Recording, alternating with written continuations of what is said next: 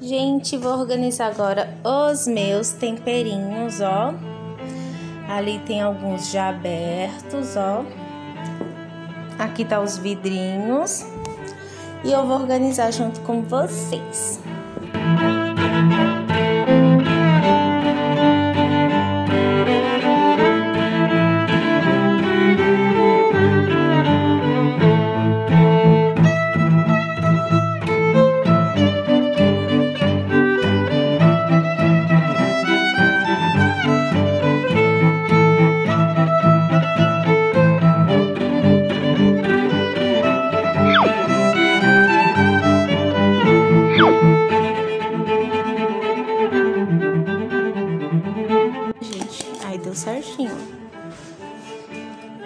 E aí, esse aqui que tem menos, aí vai ficar legal.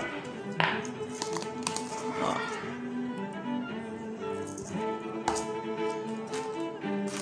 Aí, esse que tem dentro pouco é o sal rosa. Ó.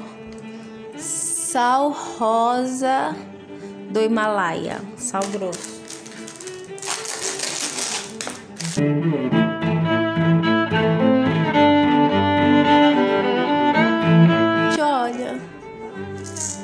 Fofura.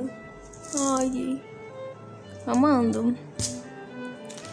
Bom, o açafrão.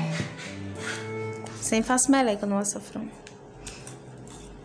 Eu vou só ter esse saquinho, então vou colocar aqui dentro.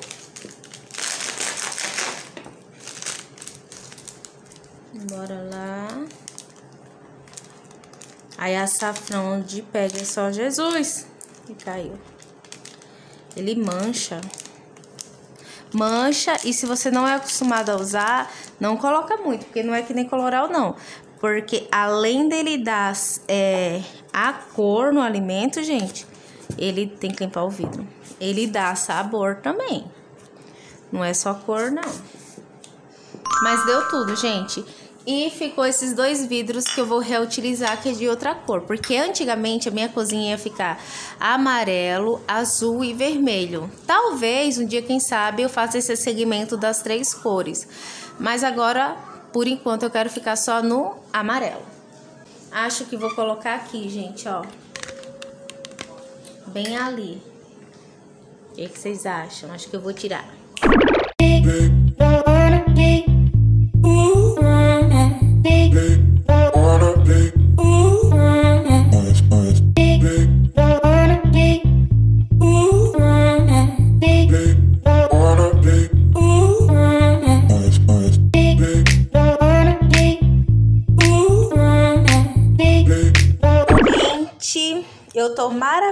Com esse trequinho aqui. Sério, dava nada por isso aqui. Mas a minha irmã me ensinou como que faz uma mega salada de repolho. Gente, é muito rápido. Muito rápido mesmo. Eu vou mostrar pra vocês. Ó como é que o repolho fica. E aqui eu já tenho o meu tomatinho picado. Bom, meus amores, é muito prático, tá? Vocês acreditam que até o sabor da salada fica diferente, fica melhor do que daquele outro jeito que eu picava, ficava maior tempo tentando deixar fininho. E aí você só vai fazendo assim, ó.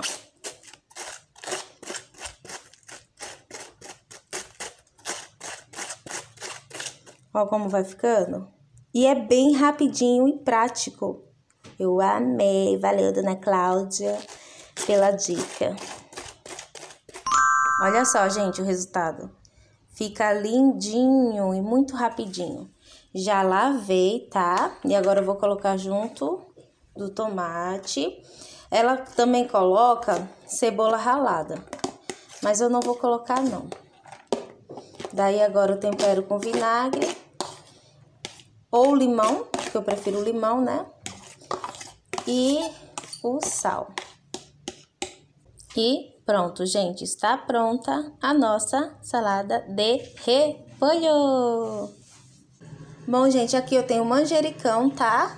Eu já tenho plantado aqui em casa. Por causa que minha avó plantou, ela sempre É. Antigamente nosso jardim só tinha uma plantinha de nada, agora tá cheio, que Agora- nem cabe mais. Que nem cabe mais, é.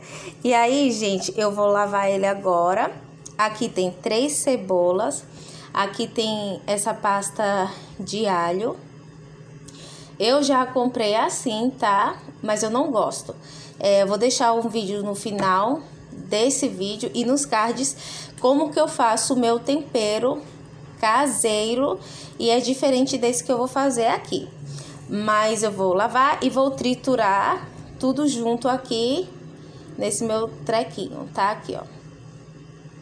Fica uma delícia. Deixa eu mostrar pra vocês. Vê. Deixa eu botar a pasta aqui.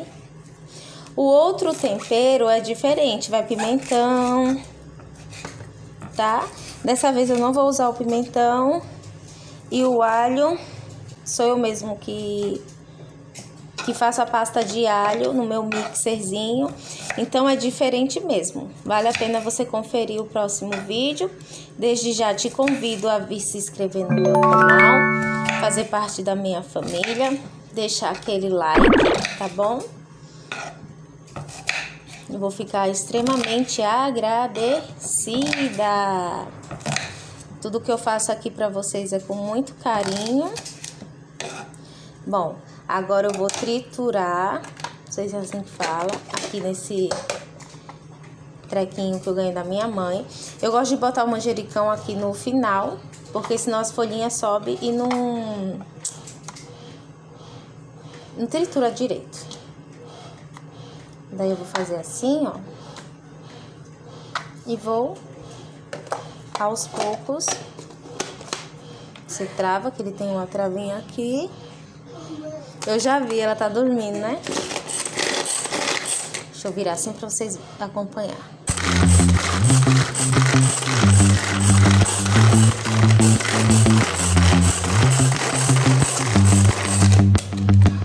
Como é que vai ficando. O legal é que passando carro de som. Você pode deixar em pedaços maiores e em pedaços menores. Ou ficar quase uma pasta.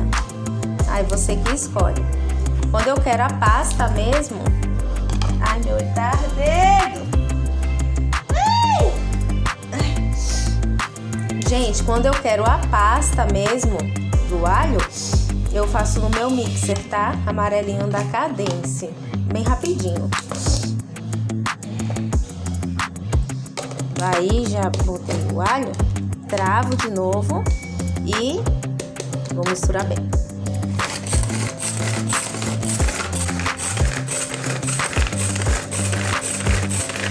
Deixa eu abrir pra ver como é que fica. Ó, gente, tá vendo? É assim que eu gosto que fica o meu. Vou colocar nesse potinho aqui amarelinho,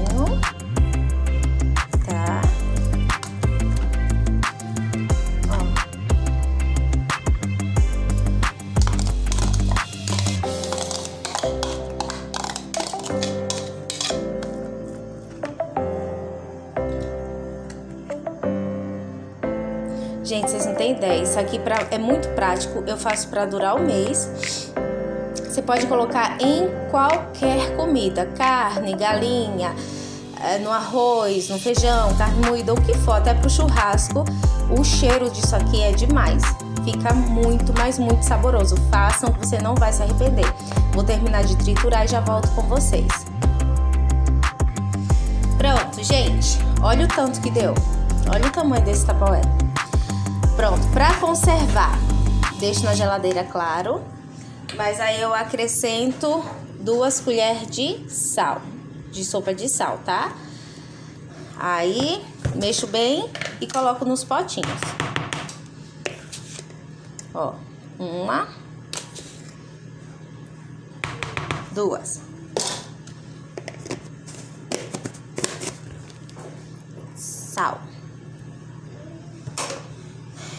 Agora é só mexer.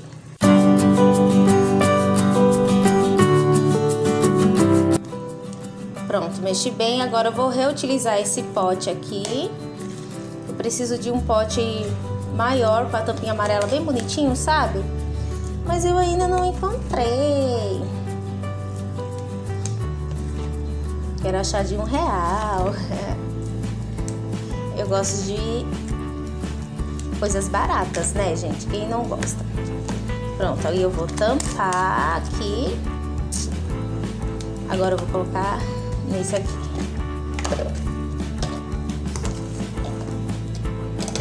Geralmente eu faço uns dois potes desse amarelo. Aí eu faço diferente, né?